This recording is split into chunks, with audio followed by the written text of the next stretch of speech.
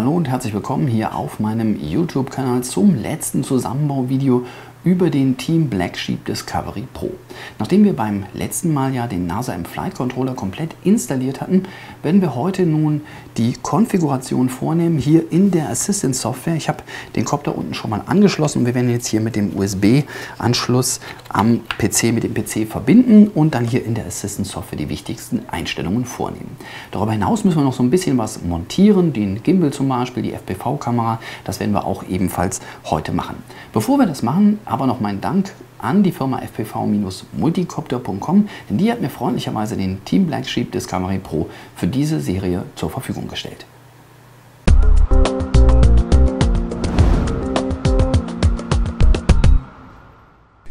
Ja, die NASA M Assistant Software und auch den USB-Treiber habe ich von der DOI-Webseite heruntergeladen, installiert und auch gestartet. Der Copter ist, wie ihr gesehen habt, per USB-Kabel jetzt verbunden mit dem PC. Wir gehen jetzt direkt in die Einstellungen rein. Wenn ihr das nochmal in Ruhe sehen wollt, wie man das hier installiert ähm, und die einzelnen Einstellungen nochmal im Detail euch anschauen wollt, habe ich alles schon mal einen Film drüber gemacht, dann da bitte einfach nachschauen. Der Bereich Basic Aircraft. Hier stellen wir Quadrotor X ein. Das ist hier schon ausgewählt. Können wir also direkt weitergehen. Wir kommen zum Punkt Mounting. Hier wird eingestellt, wie die GPS-Antenne verschoben werden muss, um im Schwerpunkt des Kopters zu sein. Hier müsst, äh, müsst ihr natürlich schauen, was bei euch, wie eure GPS-Antenne positioniert ist. In meinem Fall muss dort stehen minus 5, minus 3 und minus 11.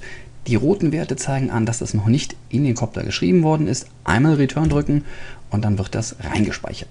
Wir gehen weiter zum Bereich RC, also die Fernsteuerung. Hier müsst ihr äh, zunächst einmal auswählen den Receiver Type, also wie ähm, ihr verkabelt habt. Ich habe hier D-Bus verkabelt, also brauche ich hier nichts mehr zu ändern. Dann kommen wir zur Kalibrierung der Fernsteuerung. Einmal äh, auf Start drücken, dann alle Regler der Fernsteuerung zu den Endpunkten drehen einmal im Kreis herum. So, und wenn wir das gemacht haben, dann Finish und OK. Und jetzt müssen wir noch überprüfen, ob hier die Richtungen alle stimmen. Dazu schiebt ihr den Regler hier immer nach oben und nach rechts und dann muss der hier in der Anzeige auch rechts sein. Wenn der nicht rechts ist, sondern so wie hier links, zum Beispiel bei T, dann müssen wir hier einmal auf Reverse klicken und da dann normal stehen haben. Dasselbe machen wir mit dem anderen Steuerknüppel auch. Auch hier sehen wir, müssen wir umstellen. Einmal wieder auf Reverse. Jawohl, jetzt sind alle richtig. Wenn ich die Regler nach oben und rechts äh, bewege, dann sind die hier auch alle rechts. Die Receiver Advanced Protection, die schaltet ihr ein, wenn sie noch nicht an ist. Und dann kommen wir hier zur Kalibrierung des X1-Kanals. Einmal Start drücken, dann den Regler, den, das POTI einmal an, an beide Endpunkte drehen bestätigen, Finish, OK. So, dann prüfen wir hier noch, ob, unsere, ähm, ob sich unser Mode-Schalter einwandfrei schalten lässt. Jawohl, das funktioniert auch. Alles klar. Dann kommen wir jetzt hier zu den Gain-Werten. Die Gain-Werte, die ähm, ich euch hier sage, das sind die Standard-Gain-Werte, die Team Black Sheep empfiehlt für diese Konfiguration des Copters. Die trage ich hier mal schnell ein. Das sind 130, dann 100, 100 20 und 120 für die Basic Gain Werte und die Attitude Gain Werte auf 150 und 150. Wichtig ist hier die Pitch-Achse, egal was ihr daran ändert später, die Pitch-Achse muss immer ein bisschen äh, höher sein als die Roll-Achse, weil das äh, ja ein Copter ist, der nicht symmetrisch ist, sondern asymmetrisch, also müssen wir hier etwas andere Werte immer haben im Bereich Basic Gain bei Pitch und Roll. Dann sind wir hier mit den Basic-Werten fertig. Wir wechseln in den Reiter Advanced.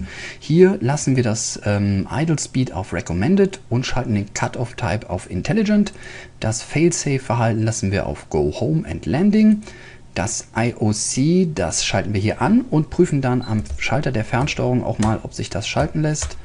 Jawohl, das klappt wunderbar.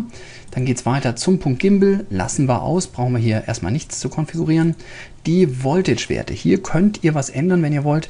Hier sehen wir zum Beispiel, ist kein Loss eingetragen standardmäßig. Da tragen wir mal ein Loss von 0,5 standardmäßig ein.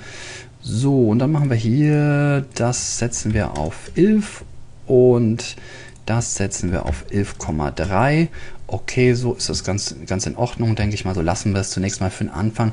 Wenn ihr einen 3S-Lipo-Akku hier verwendet, wenn ihr einen 4S-Lipo-Akku habt, dann müsst ihr hier natürlich etwas andere Werte einschalten.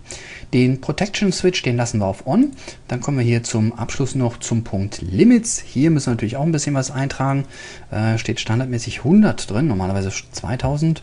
Okay, also hier machen wir mal äh, eine maximale Höhe von 300, die wir hier eintragen und einen maximalen Radius mal von 700 Metern. Okay, damit sind wir hier mit der Konfiguration durch. Wir überprüfen hier zum Abschluss nochmal die äh, IMU, die sieht auch ganz in Ordnung aus. Kompass ist noch nicht in Ordnung, aber die Kompasskalibrierung, die machen wir ja vor dem ersten Flug.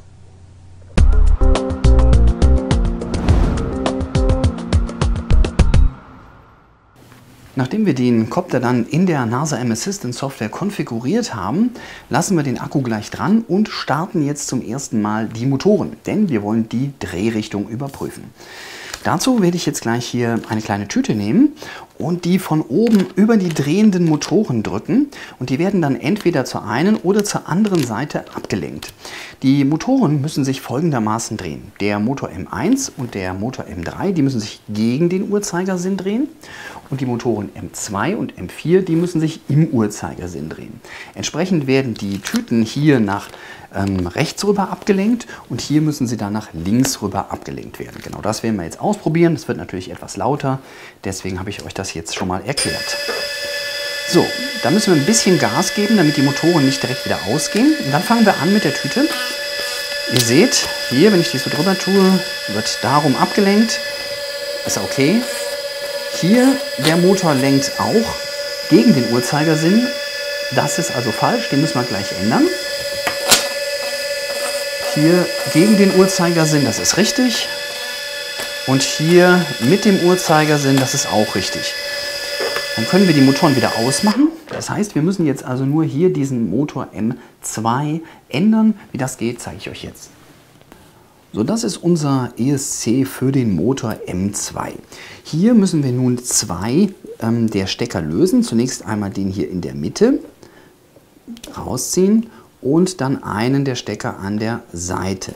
Den Stecker von der Seite, den stecken wir dann direkt wieder in die Mitte rein und den Stecker, der vorher in der Mitte drin gesteckt hat, den stecken wir dann an die Seite rein. Und damit sind wir schon fertig. Als nächstes werden wir jetzt die restlichen Sachen noch hier im Copter verbauen. Wir fangen an mit der FPV-Kamera. Hier ist zunächst einmal so ein etwas längeres Kabel dabei. Das brauchen wir nicht. Das können wir zur Seite legen, denn wir werden das Kabel hier nutzen, was wir schon in die Oberseite reingesteckt haben. Wenn wir uns dann die FPV-Kamera einmal anschauen, dann werdet ihr feststellen, hier ist noch so ein Board mit dabei mit Knöpfen. Damit kann man ein Menü aufrufen und die Kamera hier auch weiter konfigurieren. Wie das geht, das zeige ich euch aber mal in einem gesonderten Film. Zunächst einmal am Anfang brauchen wir das nicht. Die Kamera ist schon von Hause aus relativ gut ähm, vorkonfiguriert, sodass wir hier nichts dran ändern müssen. Das heißt, wir können hier das gesamte Board abnehmen und zur Seite legen, brauchen wir nicht mehr. Dann müssen wir uns jetzt hier diese äh, Platte nehmen, diese Seitenwand, die kommt ja hier vorne in den ähm, Kopter rein. Und hier setzen wir jetzt auch die Kamera rein. Da müsst ihr darauf achten, hier ist ähm, so eine Ecke an der Kamera, die zeigt nach links oben. Das heißt, wir setzen das Ganze jetzt hier so rein. Und dann müssen wir das fixieren. Leider gibt es hier keine Möglichkeit, das irgendwie per Schrauben zu machen oder so. Es liegt zumindest nichts im Lieferumfang dabei.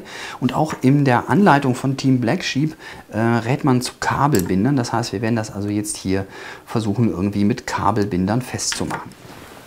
So, ich möchte euch das einmal hier in der Nahaufnahme zeigen, wie ich das jetzt hier befestigt habe immer zwei Kabelbinder, zwei kleine Kabelbinder zusammengebunden und dann hier einmal oben rum und einmal unten rum das Ganze befestigt. Ich muss ehrlich sagen, dass das ähm, ja, keine optimale Lösung ist. Hier sind zwar diverse Gewinde auch an der Kamera, aber es fehlen Schrauben dafür. Die Gewinde sind teilweise mit anderen Schrauben, zum Beispiel vom Kühler, hier schon belegt, sodass es hier keine vernünftige äh, Möglichkeit gibt, das Ganze festzuschrauben. Hier hätte ich mir gewünscht, dass es da seitens Team Black Sheep eine elegantere Lösung gibt, als jetzt hier so ein Gewirr an Kabelbindern. Wir werden das natürlich jetzt gleich noch abschneiden. Ähm, wichtig ist, wenn ihr auch diese Kabelbinderlösung äh, einsetzt, die ja auch im Bildvideo von Team Black Sheep zu sehen ist, dann müsst ihr auf jeden Fall zunächst hier dieses Videokabel CAM 12 Volt einsetzen, was in der oberen Platine ja drin steckt, sonst könnt ihr hier nämlich das nachher den Stecker nicht mehr draufsetzen. Jetzt werden wir hier die überflüssigen Enden vorsichtig abschneiden und dann die Kamera einsetzen.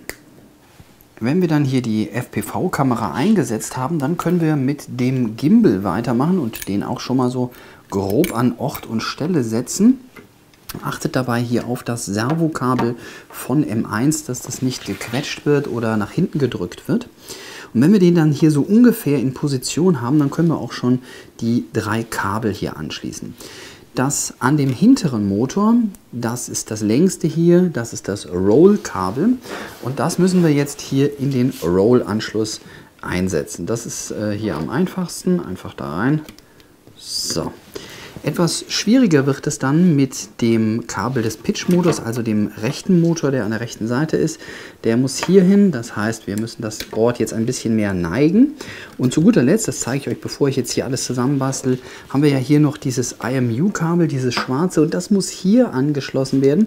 Das heißt, wir können das im Grunde genommen nur anschließen, wenn wir ähm, wirklich fast den Deckel zugeklappt haben. Zwei Besonderheiten möchte ich euch noch zeigen, und zwar zum einen die Montage des Gimbals. Da haben wir hier oben so eine Schiene und dort sind zwei Gewinde drin, die von hier oben dann verschraubt werden. Das müssen wir auch wieder machen mit diesen kleineren der beiden Schrauben. Die werden hier also reingeschraubt. Da muss man so ein bisschen vorsichtig dran rütteln, damit die Schraube auch wirklich komplett reingeht. Und wenn wir das gemacht haben, können wir den dann umdrehen und da müssen wir auch noch was machen. An der Unterseite schrauben wir dann zunächst die hintere Dämpfung fest, einmal hier an diesem Punkt und einmal hier. Auch hier ist das Ganze natürlich relativ tricky, ähm, da auch hier der Dämpfer natürlich etwas nachgibt. Deswegen am besten immer alles erstmal vorsichtig, so ganz locker festschrauben und dann nachher nochmal ordentlich festziehen, wenn wirklich alles sitzt. Wenn wir das dann gemacht haben, dann müssen wir jetzt hier die untere Querplatte der Hauptdämpfung an diesen beiden Punkten festschrauben. Wo das genau ist, das seht ihr dann, wo die Platte sich gerade befindet. Das ist hier so ein bisschen variabel angebracht und da müsst ihr halt schauen, was für euch am besten passt. Auch hier natürlich gilt, den Schraubensicherungslack nicht vergessen und dann alles ordentlich festziehen. Die zweite Stelle, an der wir etwas Besonderes machen müssen, das ist hier vorne am Motor M1. Hier setzen wir nämlich jetzt noch diese Halterung vorher hin. Das ist die Halterung, an der gleich dann der ähm, FPV-Sender befestigt werden kann. Wenn die Halterung dann hier festgeschraubt ist, dann nehmen wir uns hier unten dieses Kabel, dieses Videotransmitter-Kabel, das wir ja ins obere Board schon eingestöpselt hatten und ziehen das hier durch die Öffnung am Bein hindurch. Und dann können wir unseren Videotransmitter hier den TBS Greenhorn nun damit verbinden. Dazu wird er hier an der Seite einfach eingesteckt, das Kabel. So, und dann wird der hier drauf gesetzt und mit Kabelbinder befestigt. Dafür sind hier an diesen beiden Seiten extra Vorrichtungen, wo der Kabelbinder lang geführt werden kann. So, einmal rum, dann auf der anderen Seite auch wieder durch und schließlich dann hier durchstecken und festziehen. So sieht der FPV-Sender von der anderen Seite aus. Und jetzt können wir hier die Antenne aufschrauben. Wichtig ist, dass man hier bedenkt, der Team Black Sheep Sender, das ist ein Sender, auf den eine RP-SMA äh, Antenne draufgeschraubt werden muss. Das heißt, hier im Innern der Antenne darf kein Pin sein. Nur die kann man hier aufschrauben, weil der Pin bereits im Sender drin steckt. Kommen wir nun zur Montage der Propeller. Zunächst einmal müssen wir dabei beachten, welcher Propeller wohin kommt. Wie ihr ja wisst, dreht sich hier dieser M1-Motor gegen den Uhrzeigersinn, also so rum. Hier muss natürlich dann ein Propeller drauf, der beim Drehen gegen den Uhrzeigersinn auch die offene Seite, hier diese offene Seite vorne hat, um die Luft zu packen und nach unten zu drücken. Um den jetzt zu montieren, müssen wir zunächst einmal einiges abschrauben. Hier diese Hutmutter, die muss runter. Dann haben wir hier noch eine normale Mutter, die müssen wir auch runternehmen. Und zu guter Letzt ist hier noch diese Abdeckung, die müssen wir auch noch herabnehmen. Wenn wir das dann gemacht haben, können wir jetzt theoretisch zumindest den Propeller draufsetzen. Aber ihr werdet feststellen, das passt hier nicht so richtig. Der ist hier innen drin nämlich viel zu groß. Und dafür gibt es im Lieferumfang hier diese Tüte mit diesen silbernen Ringen. Die kann man nämlich hier in den Propeller jetzt reinsetzen, so in die Achse und dann passt das hier wunderbar drauf und jetzt wackelt auch nichts mehr. So, jetzt gehen wir umgekehrt vor, legen also zuerst hier diese Scheibe drauf, dann kommt die normale Mutter wieder oben drauf und die wird jetzt auch ordentlich festgezogen. Dafür nehmen wir uns mal hier so ein kleines Werkzeug, so, um das hier richtig festzuschrauben. So, okay. Und zu guter Letzt dann noch die Hutmutter hier wieder oben drauf. Ja, wenn wir das dann gemacht haben, dann gehen wir weiter und nehmen uns jetzt den nächsten Propeller und den nächsten Propeller vor. Ja, damit ist er dann fertig zusammengebaut. Hier unser Team Black Sheep Discovery Pro FPV Quadcopter. Jetzt können wir ihn in die Luft bringen. Also ich freue mich zumindest drauf, ähm, den jetzt in den nächsten Tagen mal auszuprobieren, damit ein bisschen rumzuheizen und zu schauen, was der Copter so alles drauf hat. Ich denke, ihr wollt ihn auch live sehen oder aber vielleicht habt ihr ja an was ganz anderem Interesse und wollt zunächst die ganzen Zusatzfunktionen, die hier noch äh, vorhanden sind, mal gezeigt bekommen. Wie zum Beispiel, er hat ja ein eingebautes On-Screen-Display, gibt es eine Konfiguration, ähm, des, des FPV-Senders, die kann man hier noch machen. Äh, man kann hier zum Beispiel auch so Sachen machen wie ähm, wechseln zwischen der FPV-Kamera und der GoPro oder die Konfiguration des Gimbals. Also es gibt noch jede Menge zu entdecken. Ähm, schreibt mir auf jeden Fall in die Kommentare rein, was ihr als nächstes sehen wollt. Lieber den ersten Flug oder ähm, doch lieber so ein bisschen noch zusätzlich in die Konfiguration gehen. Ja, ich hoffe, mein Film hat euch gefallen.